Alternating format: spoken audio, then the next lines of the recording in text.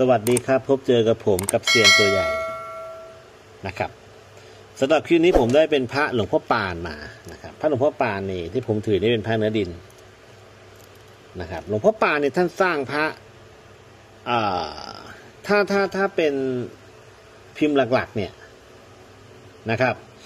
จะจำแนกได้หกพิมพ์หลัก ก็จะมีทรงไก่ ทรงครุฑทรงหนุมาน ทรงปลาทรงเม่นทรงนกนะครับ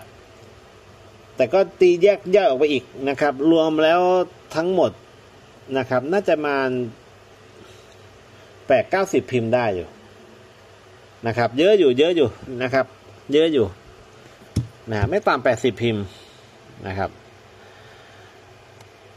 พระหลวงพ่อปานเนี่ยผมว่าเป็นพระที่ดู ก็ดูความเก่า ดูความมันนะ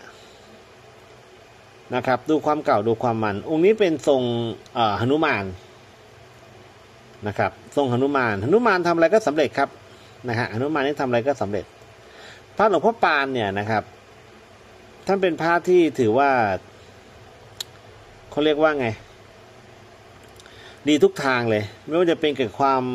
ร่ำรวยนะครับคาถาเงินล้านพ่อปานนะฮะนะครับ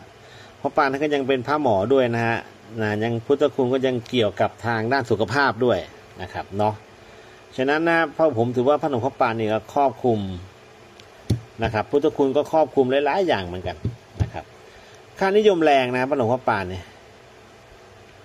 นะครับค่านิยมค่อนข้างที่จะแรงนะมีพิมพ์โบราณนะครับ พิมพ์โบราณก็จะส่วนใหญ่จุกก็จะอุดล่างนะพิมพ์โบราณนะครับ ก็จะมีจุกอุดล่างนะครับแล้วก็โซนโซนโซนพิมพ์ก็จะแตกต่าง จากพิมพ์มาตรฐานเขาอยู่นะครับเขาจะตีเข้าไปเป็นพวกพิมพ์โบราณอะไรประมาณนั้น อย่างองค์นี้เนี่ยนะครับ เป็นทรงครุฑนะครับ เป็นทรงครุฑนะครับ ก็ดูพ่อปานให้ดูเป็นดินขุยปูประมาณนั้นแหละ ถ้าถ้าพูดง่ายๆก็ดูดินให้มันมันเข้าไว้ครับ ดูดินมันมันดูเก่าๆอะ นะครับ ดูให้ดินมันมันดูเก่าๆอะนะครับ สวยดีนะพระนะครับวันนี้ผมถ่ายให้ชมนะครับ ผมดูว่าสวยดีนะครับอะโอเค นะครับ คลิปนี้ก็ได้เป็นพระหลวงพ่อปานนะครับ พิมพ์ทรงหนุมานนะครับ เนื้อดินนะครับ หลวงพ่อปานวัดบางนมโคนะครับ จังหวัดพระนครศรีอยุธยานะครับอะสำหรับคลิปนี้ไว้เท่านี้คลิปหน้าเจอผมใหม่นะครับ ขอขอบพระคุณสำหรับการติดตามรับชมรับฟังฝากกดไลค์กดแชร์กด subscribe ผมด้วย